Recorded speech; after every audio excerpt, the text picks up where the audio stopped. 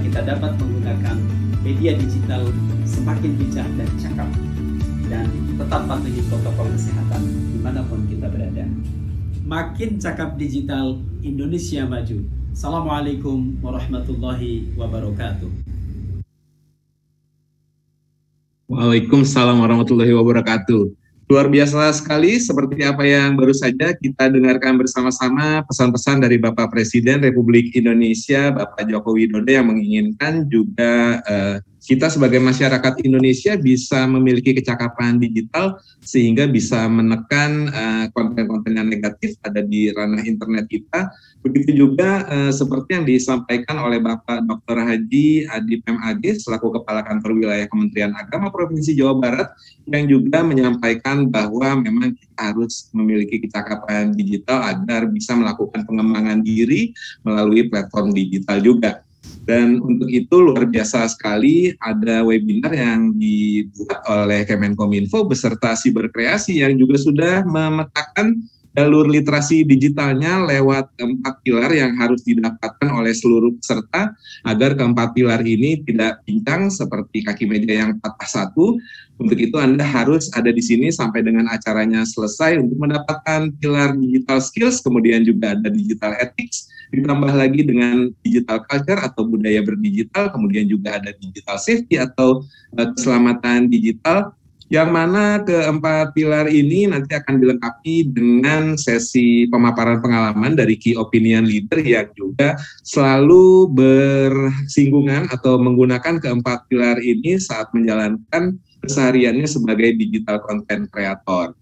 Dan untuk itu juga narasumber yang dihadirkan hari ini sungguh luar biasa karena ini adalah guru-guru kita. Saya pun uh, sangat kagum uh, dengan beliau-beliau ini yang biasanya juga saya hanya melihatnya di uh, koran atau mungkin di media massa, akhirnya senang sekali bisa berjumpa kali ini.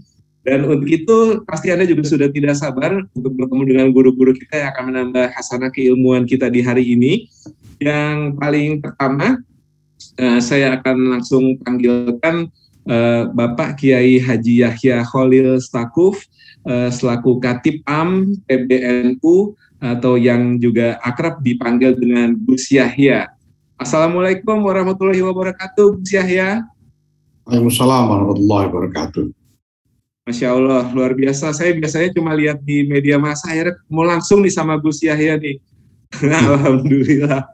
Terima kasih. Baik. Ya.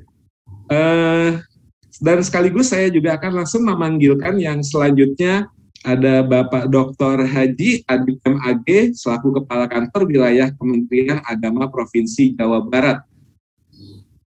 Assalamualaikum warahmatullahi wabarakatuh.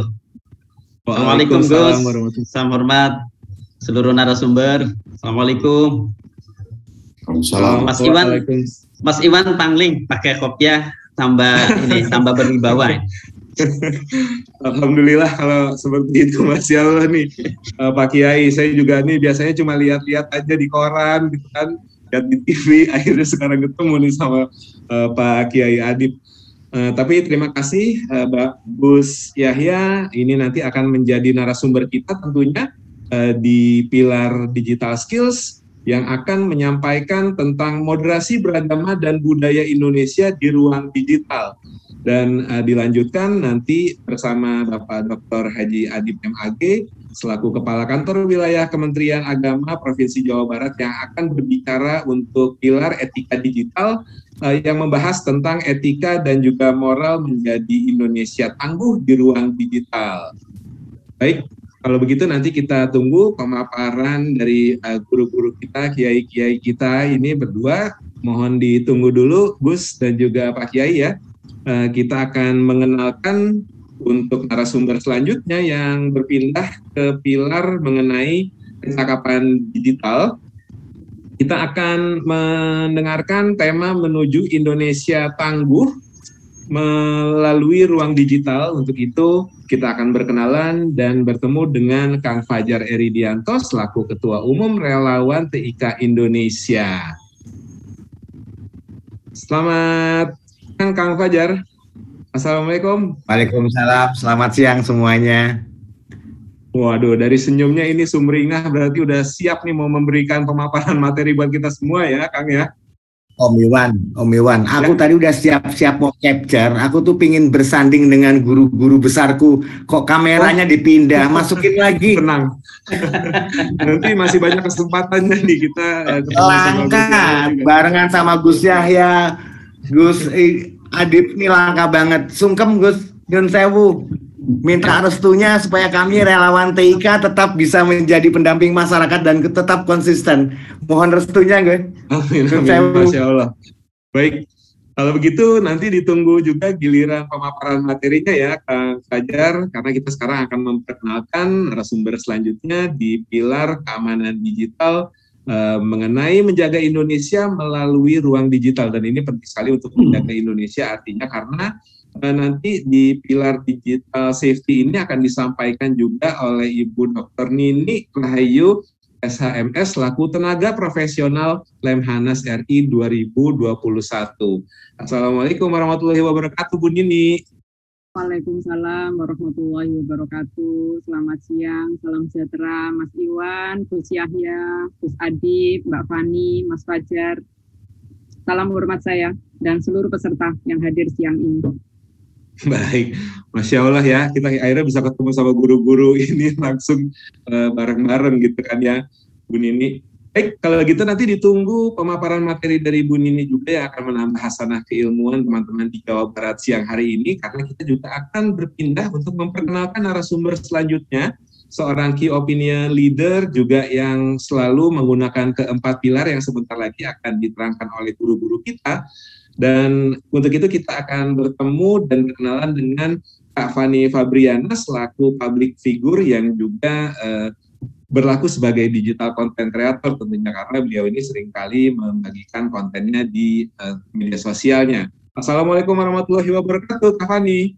Waalaikumsalam warahmatullahi wabarakatuh. Selamat siang Kang Iwan, selamat siang semuanya para narasumber luar biasa ada Bapak Gus Yahya, ada Kang Iwan tentunya, terus ada Ibu Nini, ada Bapak Fajar, ada Bapak Adi. Jadi luar biasa banget, Alhamdulillah dikasih kesempatan bisa barengan untuk memberikan materi yang insya Allah teman-teman semua akan berguna untuk kita semua ya.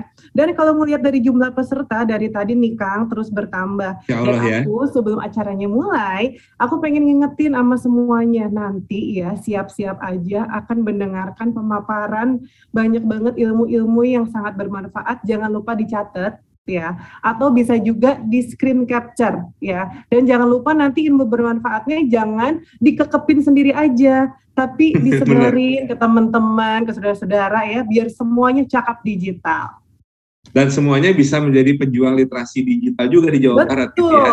Mm -mm. Baik kalau begitu nanti walaupun gilirannya terakhir eh, Kak Fani harus tetap semangat ya nungguin gilirannya berbagi pengalaman. Ya, insya Baik. Kalau begitu kita akan mulai saja webinar Gerakan Nasional Literasi Digital 2021 untuk Jawa Barat. Dan tentunya kita akan awali semua ini dari pemaparan materi eh, di acara dengan tema moderasi beragama untuk Indonesia tangguh ini.